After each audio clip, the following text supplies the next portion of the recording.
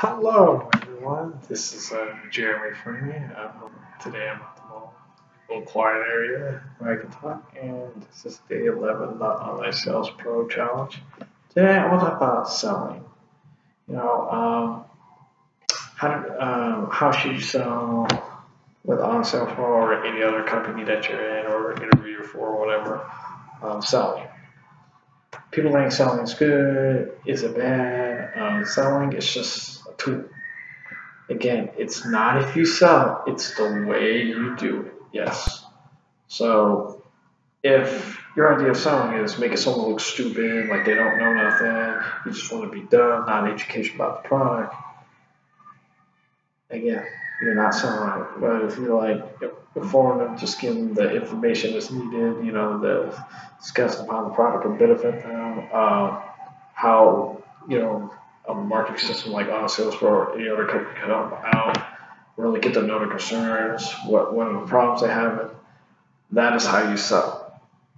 Again, selling is basically providing value, but it, but if your value is making someone look stupid and gullible and that that's not the correct way the correct way to sell is be informative you know tell them how this product can solve a problem, problem or service um, tell them that you're honest hardworking uh, valuable you know how uh, sales pro is valuable or any other company and again you know if you have to fake everything you do with selling, you're doing it wrong. Again, I could go on a whole hour video why uh, that's the wrong way to sell, like being shady, making people look stupid, gullible.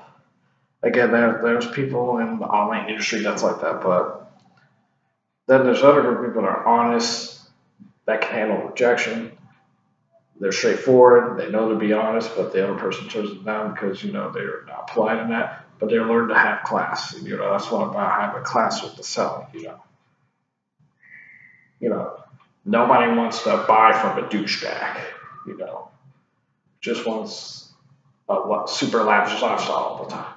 As someone who's modest, will to get back to community diet, such as myself. Again, um, that's all I gotta say. Again, it's not if you sell, it's the way you do it. Again, where it's job interview, you know, maybe uh, write a book or promote a product or service or have a garage sale or any other type of sale, again, that's uh, all I got to say. Again, uh, be ethical and professional in selling something.